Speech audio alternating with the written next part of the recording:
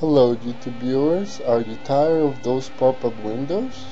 Don't you worry, we will show you how to block them in 5 easy steps.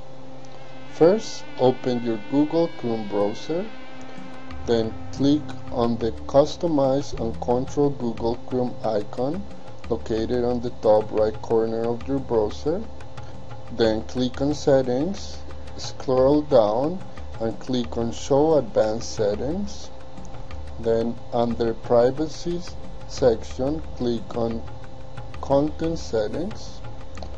After that scroll down to the pop-up section.